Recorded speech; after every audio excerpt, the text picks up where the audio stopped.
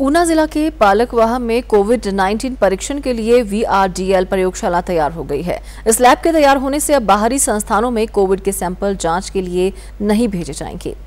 CMO Raman Sharma ने बताया कि करीब चार करोड़ रुपए की लागत से तैयार इस प्रयोगशाला में आधुनिक मशीनें स्थापित करने के साथ साथ सैंपल की जाँच करने वाले विशेषज्ञ तकनीशियन भी तैनात कर दिए गए हैं। रमन शर्मा ने बताया कि जल्द ही प्रयोगशाला का उद्घाटन करवाकर इसे शुरू कर दिया जाएगा।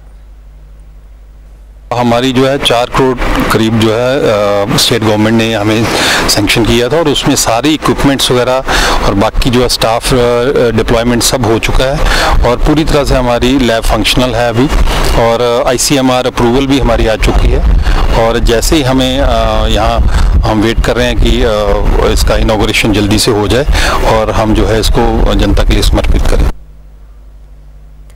उल्लेखनीय है कि आरटीपीसीआर सैंपल को अब तक जाँच के लिए टांडा मेडिकल कॉलेज पालमपुर और कसौली भेजना पड़ता था।